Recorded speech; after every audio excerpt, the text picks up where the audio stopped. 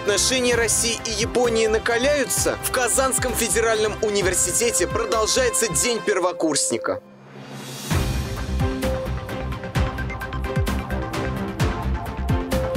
Всем привет! В эфире Univernews, а в студии Максим Мартынов. Делегация Джизакской области Республики Узбекистан во главе с хакимом Эргашем Салиевым посетила Казанский федеральный университет. Рабочий визит состоялся в рамках третьего форума межрегионального сотрудничества между Россией и Узбекистаном, проходящего сегодня в столице Татарстана. В сопровождении ректора КФУ Ленара Сафина гости посетили недавно открывшуюся многофункциональную стоматологическую поликлинику МСЧ вуза – Участникам делегации продемонстрировали основные помещения клиники. Стороны обсудили текущую деятельность филиала Казанского университета в Джизаке по данному направлению, а также вопросы развития других направлений подготовки и в целом расширения сотрудничества в научно-образовательной сфере.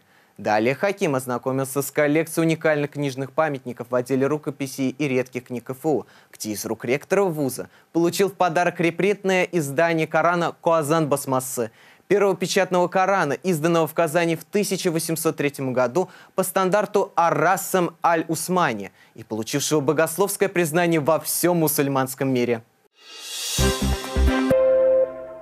За последний год отношения между Россией и Японией ухудшились в связи со сложными дипломатическими и территориальными отношениями, затянувшимися на десятилетия – в основе разногласий лежат вопросы о принадлежности Южно-Курильских островов и недавнем визите японского политика Мунео Судзуки в Россию.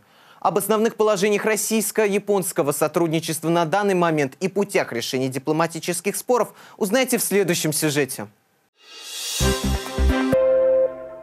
Взаимоотношения России и Японии имеют длительную историю, которая начала формироваться еще во второй половине XIX века. В этот период Япония активно осваивала западные технологии и идеи, а императорская Россия стремилась укрепить свое присутствие на Дальнем Востоке. Первым шагом на пути к сотрудничеству стало заключение дипломатического и торгового договора в 1855 году, согласно которому между двумя государствами устанавливались постоянный мир и искренняя дружба. Для русских судов открывались порты Хакадаты, Нагасаки и Симода. Также стороны обеспечивали взаимную защиту территорий и неприкосновенность к их собственности. Однако в 1904 году в связи с соперничеством между Россией и Японией за влияние в Маньчжурии и Корее на фоне явной поддержки Токио со стороны США и Великобритании началась российско-японская война, что также повлияло на отношения между двумя странами. Уладить конфликт конфликт помогло образование Содружества наций и подписание Пятигорского мирного договора в 1920 году, благодаря чему Япония согласилась признать Советскую Россию и установить мирные отношения. В начале 2000-х Япония вела с Россией диалог,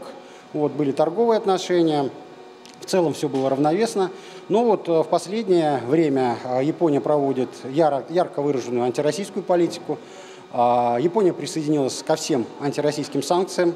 Вот. А, и в, этом, в этой связи, конечно, на данный период времени а, говорить о каких-то положительных тенденциях в отношениях наших стран практически невозможно. Несмотря на то, что Япония и Россия развивались параллельно, укрепляя свои границы и оборону, периоды напряженности и мирных соглашений всегда сменяли друг друга, что становилось завязкой для развития дипломатических споров. Одним из наиболее серьезных спорных вопросов на данный момент является принадлежность Курильских островов, так как Япония до сих пор не признает их в составе России и настаивает на восстановлении суверенитета над ними. Эти события являются серьезным препятствием на пути к улучшению отношений между двумя странами. Основные претензии Японии заключаются в том, что Курильские острова, на их взгляд, являются исторической частью японского архипелага и были незаконно аннексированы Советским Союзом после Второй мировой войны. Несмотря на долгую историю спора, две страны активно ведут переговоры с целью урегулирования этой проблемы. Пути решения налаживания взаимодействий могут включать разные варианты. Заключение дипломатических договоренностей или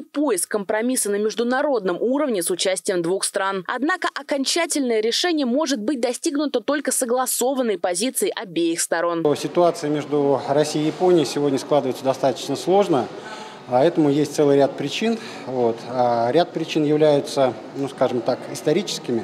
сформированными в результате событий Второй мировой войны, ее последствий. Ну, как известно, на данный период времени между Российской Федерацией и Японией нет мирного договора.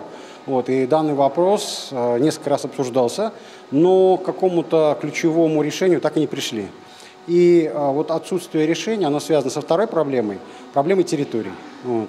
Поскольку Япония, которая э, получала от России предложение подписать мирный договор, она связывала все эти вопросы исключительно с передачей Курильских островов. Не так давно средства массовой информации снова стали затрагивать тему конфликта во взаимодействии Японии и России. Поводом для обсуждения стал визит депутата Палаты представителей парламента Японии в Москву. Мунео Судзуки – первый из японских политиков, посетивших Россию с февраля 2022 года. 2 октября заместитель министра иностранных дел Российской Федерации Андрей Руденко встретился с государственным деятелем и обсудил с ним отношения между двумя странами. Российская сторона отметила важный вклад японского депутата в развитие двухсторонних связей, так как ранее благодаря Мунео Судзуки Япония и Россия на протяжении 10 лет удерживали плотное межгосударственное сотрудничество. Однако санкционная политика на сегодняшний момент затрудняет какое-либо партнерство. Поездка депутата вызвала неоднозначную реакцию в Японии. На данный момент в стране введены ограничения на посещение России России независимо от целей поездки. И поскольку Мунео Судзуки не уведомил соответствующим образом о своем визите в Москву, в его сторону могут быть приняты дисциплинарные меры. Ну, действительно состоялся визит а, одного из влиятельных депутатов японского парламента в Россию. Это первый визит, начиная с 2022 года. Вот. А, данный депутат а, прибыл, я так понимаю, с собственной идеей, потому что пока это официальные власти Японии не озвучивали, о том, что следует наладить контакты с Россией. Но все-таки мы должны помнить, что все-таки один депутат – это еще не официальная позиция Японии. И э, пока преждевременно говорить о том, что вот это заявление, этот визит изменит ситуацию в целом.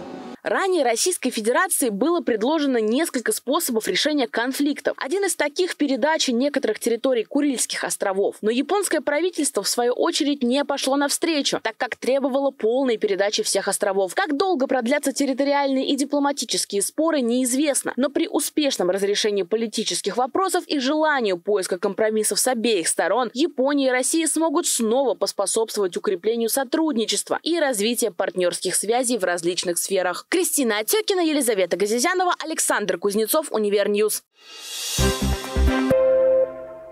2023 год принес немало сюрпризов как для России, так и для жителей Татарстана. Критический уровень воды в Куйбышевском водохранилище, аномально жаркая весна, а также засушливое лето – все это связано со всемирным потеплением. Но недавно метеорологи объявили, что в Казани в конце недели выпадет снег.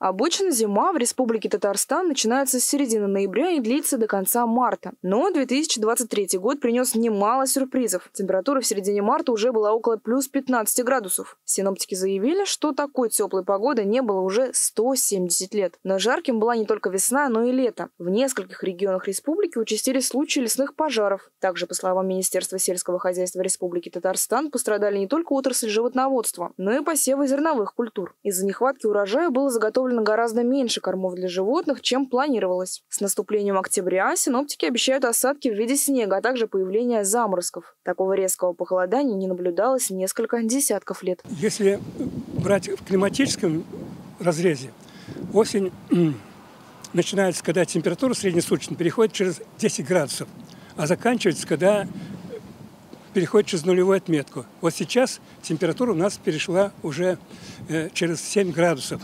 То есть это уже осень, тут никуда не денешься. Но и, следовательно, даже у нас 4 октября сегодня 4 октября выпадает иногда и снег. Зима оказалась гораздо ближе, чем ожидалось. По словам экспертов, к концу этой недели, примерно в 8 числах октября, в Татарстан придут заморозки. Возможно, выпадение осадков в виде снега похолодает от 9 до 12 градусов по Цельсию. Такие резкие погодные изменения обусловлены появлением холодного фронта, который пройдет по территории не только Республики Татарстан, но и Пермского края и Кировской области. Во-первых, я хотел бы сказать следующее, что мы пережили очень теплый сентябрь месяц. Он был на 3,5 градуса выше нормы, но сухим.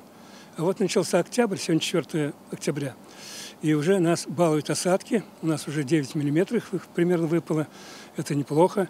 И кроме того, еще пока температура хорошая.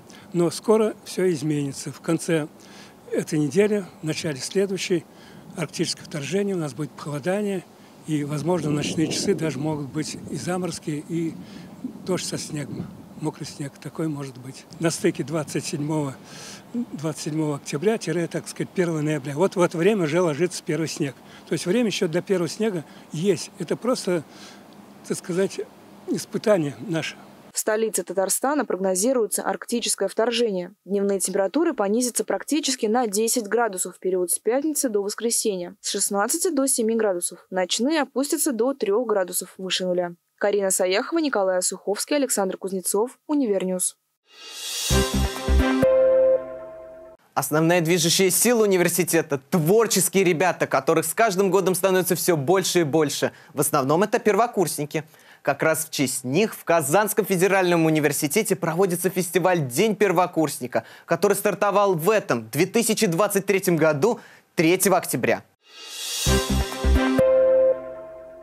Казанском федеральном университете стартовал ежегодный молодежный фестиваль «День первокурсника». Ежедневно до 13 октября на сцене Большого зала культурно-спортивного комплекса «Уникс» свои уникальные программы представят танцевальные, театральные и вокальные коллективы институтов. Первыми раскрыли свои таланты и способности коллективы Института психологии и образования и юридического факультета.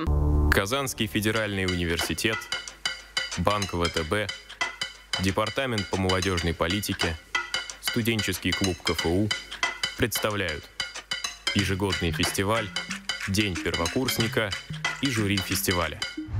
Денис Александрович Валиев, Игнат Русланович Изотов, Нинель Владимировна Мочелова, Виктор Алексеевич Рассадников, Роман Петрович Баканов, Илья Святославович Бруяка, Максим Леонидович Таучинский, председатель жюри Игорь Сергеевич Сухов. Институт психологии и образования был первым в очереди. Будущие душеведы и учителя определили ключевую тематику своей программы. Главному герою приснилась его заветная мечта, и в течение всего концерта он шел к ее исполнению. Только представьте, что процесс мозгового штурма можно перенести из реального мира в мир сновидений. Это повысит вашу продуктивность и поможет освободить до 4 часов в день. Актер в роли знаменитого психолога Карла Юнга, который в свое время занимался психологией снов, поприветствовал зрителей. Основная часть концерта состояла из девяти актов, девять номеров. Среди них театральный коллектив «И пионы» представил этюд под татарскую народную колыбельную, а танцевальный коллектив «The Station of Свет» исполнил танец под песню певицы Айгел, тематика которой тесно связана с культурными особенностями республики.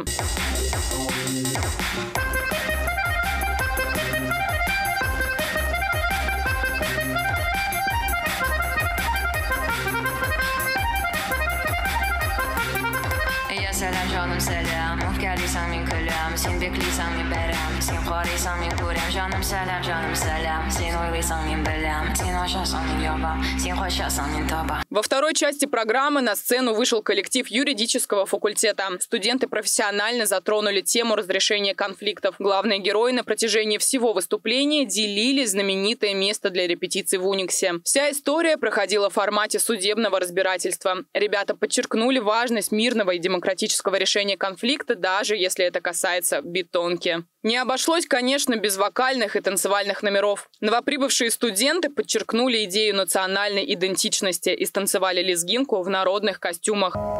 История, известная веками, о том, как средь бушующей войны любовь вдруг возникает меж врагами. Влюбленные не ведают вины, они друг другу до конца верны, но живем сегодня с вами не так, как раньше молвить мог Шекспир.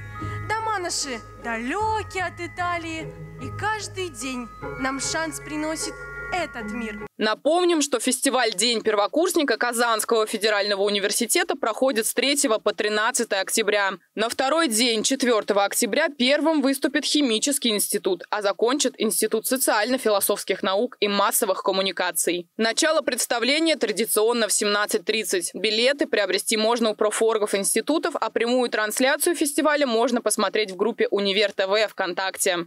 Валерия Карташова, Univernews. На этом все в студии был Максим Мартынов. Сюжеты из выпуска ты сможешь найти в наших социальных сетях, а также на сайте телеканала. До новых встреч!